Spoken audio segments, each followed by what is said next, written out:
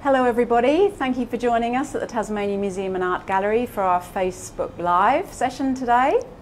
My name's Kate Morris, and I work here at the Tasmania Museum and Art Gallery. And today we're going to meet Keren Ruki, who is just here. And Keren is the curator of the Pacific Cultures Collection. So, really excited today to have a look at this very special collection and mm-hmm. all the things that it contains. Well, not all of them, because there's quite a lot. So, should we go inside and have a look? Great. Please come in. Thank you. Oh, it's quite cosy. Fantastic. Oh, look at look at all this. That's that's amazing. So many beautiful things Yes, there are. and interesting things. Gosh. Well, welcome to the Pacific and or the Indigenous Collection stores. Um, my name's Keren, and um, I'd just like to start with an acknowledgement and let you know that you are um, on the land of the Muwinina people at Rosny. Well, we are. We're doing our feed from there. Um, and I'd like to pay my respects to the Tasmanian Aboriginal community who are the continuing custodians of the land, sea, and waterways of Lutruwita, Tasmania. And welcome. Fantastic. Thank you. So Keren, can you tell us a little bit about your role here at the Tasmania Museum and Art, Art Gallery and what you do? Well, I look after the Pacific collection here, which consists of about 6,000 objects, and I work within the First Peoples Art and Culture Department. And we've got probably um, a collection of about 11,000 objects altogether. So, um, not only are they from the Pacific and from um, Aboriginal mainland and Tasmanian communities, but they're also from all around the world. Really? Yep. Gosh. So, so your role is to, to make sure the collection is looked after, and you, you research the collection, and and what else do you do? At the moment, we're wo- working towards a big migration of the database onto a new system so that hopefully all the records of all the objects that are in TMAG will be accessible to the general public Oh, in the not too distant future. Now you you don't come from Tasmania, do you? Originally, you've come from New Zealand. That's right. And with that knowledge, it's been really important as the curator of this collection because you have insight um, into some very particular objects. Yep. Mm. I'm Ngati Maniapoto, a tribe from the North Island of New Zealand, Mm. and um, I literally wove my way back into the into my culture after being brought up in Sydney on the mainland. And I suppose that's when I began to realise how important museum collections were because they were the things, uh, the collection items were the way I connected with my culture or Oh, reconnected. interesting. Yeah, yeah. So, would you like to tell us about some of these amazing um, objects that you've got out for us? And- And, their history and their significance? Yeah. Well, what um, uh, I've got on display, I'll put out for you today. Uh, this first object is a Mm. piupiu. It's a waist garment, a Maori waist garment. And um, I brought this out because uh, the way I reconnected or engaged with my community or culture was through weaving. I literally wove my way back into my community.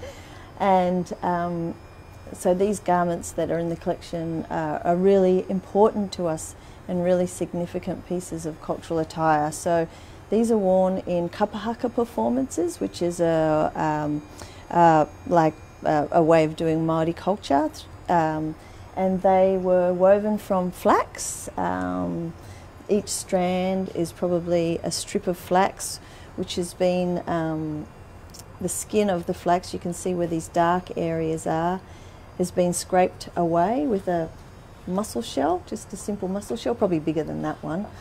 Um, and where the skin is removed, the fibres underneath are shown, and then these garments, once all the strips, um, the skin is removed, the pattern design is made, they're woven together at the waist up here, and then they're dipped into a mud which is called paru, which has got a high iron content, and that's what gives the flax, or that's what stains the muka fibre black. So, and these are beautiful things. You can actually hear them when people are wearing them and performing in them. They make a beautiful percussive sound. So they're really gorgeous things, but they are actually um, they've originated from a cloak, which is um, why you know we didn't really have waist garments way back in the day. So Yeah. yeah, that's where they've come from. So, do you know much about the provenance of this? Oh, this one in particular, it doesn't have a great provenance, Mm. um, but it does have this tag on the top here. If you have a look at, if you can see that, I'm not sure. It says Ngāti Pōneke. Oh, yes. And Ngāti Pōneke was a, um, a Māori performance group that sort of originated from around the Wellington area. As more and more Māori were migrating to the city areas, it became important for some of those people to hold on to culture. So these pan-cultural groups um, formed. And Ngāti Pōneke is, um, the name Pōneke is um, a, a, an adaptation of the name uh, Port Nicholson, which was the uh, one of the original names for uh, Wellington, Wellington. Harbour. Ah, Yeah, Oh, there we go. yeah. So, and how did it arrive here in Hobart? I'm not sure. We That's one of know the that. mysteries that I Ah, need to, you- yeah, do a little bit of ve- investigating with. Yeah. Yeah, so Yeah, that's a, it's a magnificent looking. it needs to be worn. yeah, and, and you would never, I would never have realised that it was made out of flax. yes, I know. Yeah. Flax was a really important, well, the most probably important uh, material that uh, not only was part of our garment making, but we also used it to bind our houses together. It also has medicinal properties, and there's a whole um, knowledge that goes with the flax. Right, So, right. yeah. Yeah. Now I know that you've got. Um, we don't have a huge amount of time, and there's so much we could talk about. But you've, you have some other things ready for us to have Yes, a look at. well, I was going to quickly yeah. show you um, this Oh. little feathered kite, or little feathered bag, kiwi feathered bag, which has also got a, a muka foundation, the flax fibre again. And as this uh, uh, bag is constructed, the f- feathers are added in to the outside. And the feathers, um, the kiwis were really significant, but all feathers, um, I mean, all birds are significant for Māori because for us, even though the kiwi was a land dwelling animal and those nocturnal elements are the things that we hold in high regard, birds were the closest thing to the gods for us. They hang in, hung in, out in the realm of the heavens. And so we kind of interpret birds as a way of uh, messages from the gods. So a, a sort of spiritual Yeah, connection. yeah. So that's why so many feathers are used. Well, we had a, a very strong relationship with our natural Environment, environment, anyway, course. Yes. Yeah. and yeah. which leads me on to our Ooh, ooh, next little yes. um, object, which I'll just take out from the tray here.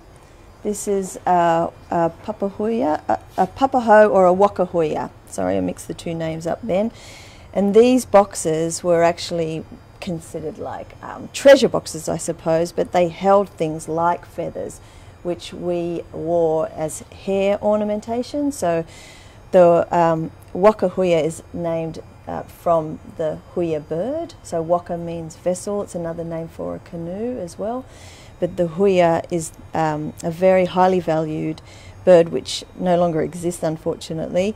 Um, but the these boxes were named directly after them, and they were hung from the rooftops um, to protect the contents. And so, as a result, I don't know if you can see that, but Ah. the bottoms are often Yes. carved because you're looking at it from below.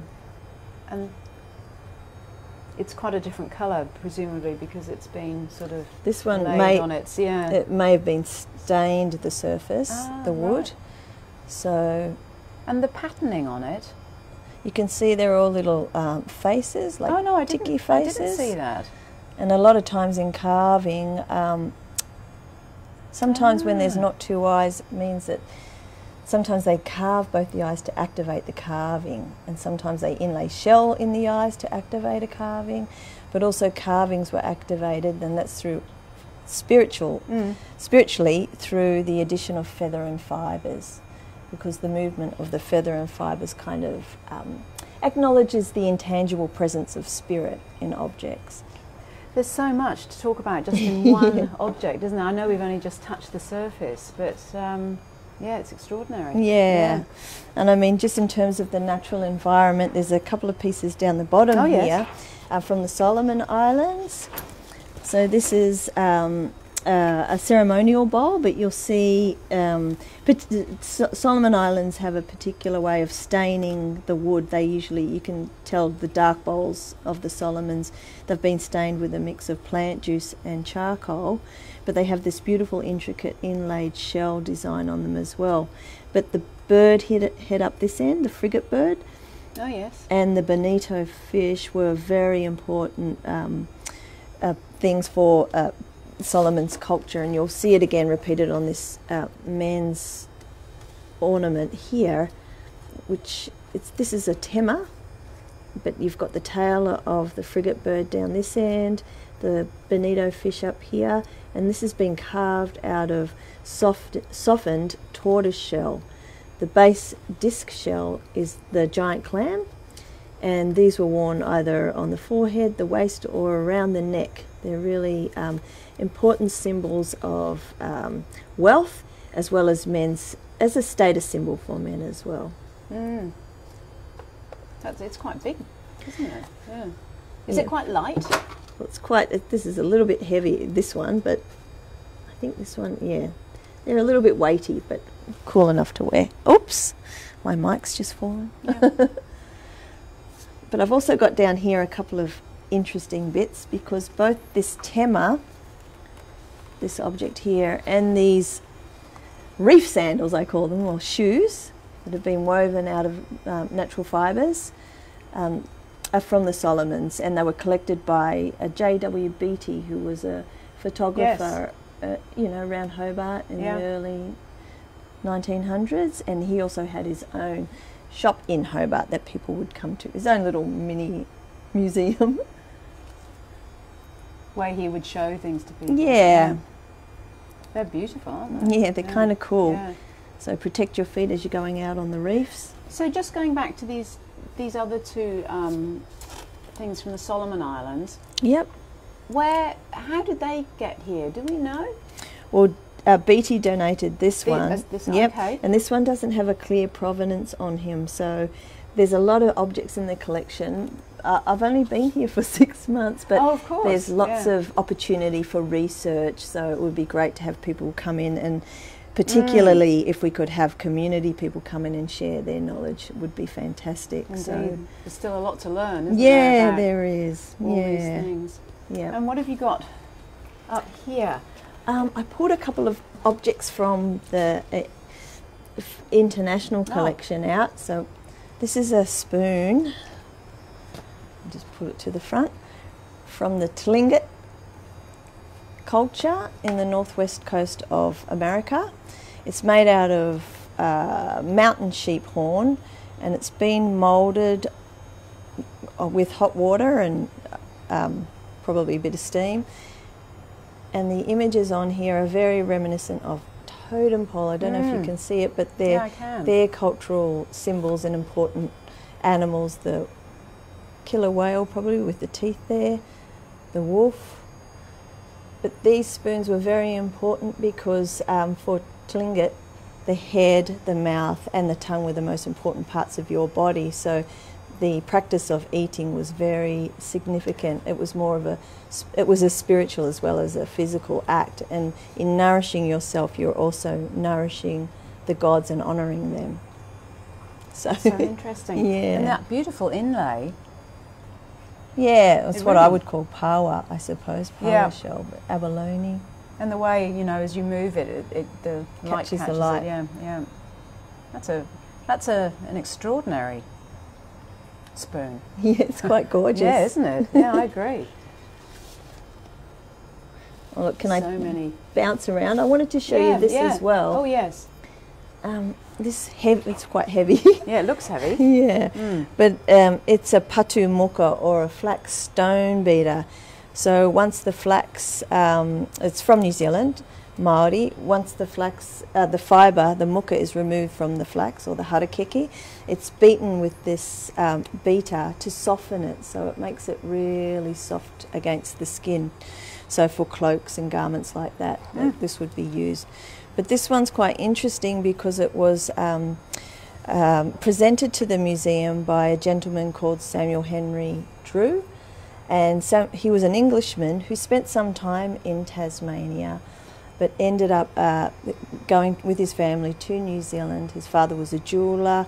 Um, they lived around the. He moved to the. They lived around Nelson, but he moved to the Wanganui area, and he was probably one of those early gentleman collectors. He amassed quite a collection of um, objects, and his collection actually uh, was the basis for the Wanganui Museum.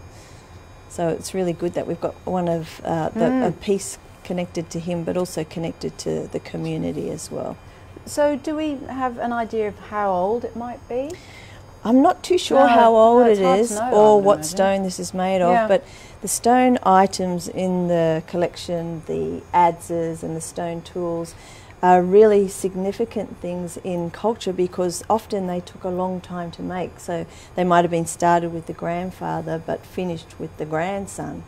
Right, so, so three generations. Yeah, yeah, yeah, And so you know we believe that the um, objects they're they're invested with the intention and imbued with the essence and energy of the people that made them as well as the people that used them, which is why we call our objects taonga, uh, which is ancestral treasures. Really translates as. Hmm. So you know they are like our people on the yes. shelves. right. Yeah, yeah. yeah or our ancestors anyway. So they're really significant and important, and that would be one um, awesome thing if we could do more engagement with First People and. Mm. Uh, I just want to let everybody know what's here in the collection. Yeah, well, I'm finding it absolutely fascinating. I had no idea, even working here, that we had such a diverse collection. Yeah. yeah. Well, and this is just one room, isn't it? Yeah. As you said, the 6,000 objects yeah. in this particular collection. Yeah. yeah. So yeah. lots to learn about. Yeah. So hopefully we'll get some on display in the near future. Great. I'm hoping. Yeah. Because um, they haven't really been on display since the Pacific Gallery was bumped out in 2013 and there were a lot of objects that went into the Mona Theatre of the World's exhibition, which is where I first saw um, this amazing room of tapa cloth, and then on looking at the label, realised that all the tapa was from T-Mag. Mm. And then I'm like, oh my gosh, what else is here? I've got to come and work here. Yeah, yeah so it's been a real treat. Yes. I've really enjoyed my time here because I'm not sure how long I'll be here for. well, we've, we've got a little bit more time, and I can see this really oh, lovely yes. object here. This is really interesting too. So, um, this is a little uh, basket made, made out of whale baleen. There's a little stone disc in the middle. It's got point barrow on it, Alaska. Whale baleen, so that's the sort of filtering system in whales' yes, mouths, obviously. yeah. catching the krill. And I think it was quite a big process just to get the strands ready for weaving. They had to be split and cut and cleaned and kind of polished before they would be ready. And there's two different, you can see how evenly they've been split. There's two different widths. Yes. The main coil, the center coil, and then the, the, the coiling unit, which is quite skinny. They're beautiful little things, and this is quite a recent phenomenon. They sort of said that these baskets um, started being made around uh, 1914, like during the First World War, 1914 to 18. Really? Yeah, and there's I try and get this gentleman's name right, mm.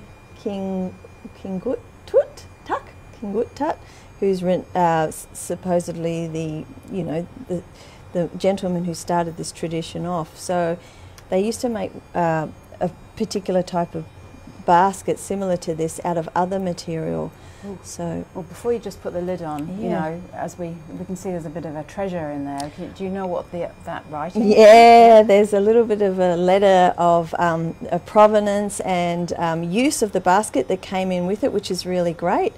And this basket came in uh, with a collection from a gentleman called Robert Carl Sticht, so who um, was very significant in the. He was an engineer up at Mount Lyell ah. in Queenstown, and he was another gentleman collector, and um, he mm. well, we got quite a bit of his collection. He passed away in the early 1900s, but his collection didn't come to us about till about the 1960s. It had been through a few members of the family Yeah, all these interesting connections, isn't it? Yeah, you know, it connect- You know, you wouldn't imagine that could be connected to sort of Mount Lyell.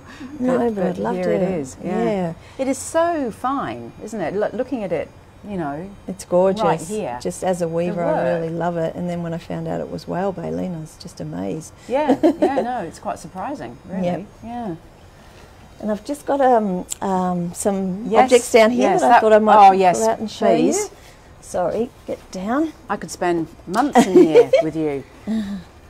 So this is um, basically uh, uh, an outfit from uh, Papua New Guinea, from the Oro province, and it's uh, a widow's outfit.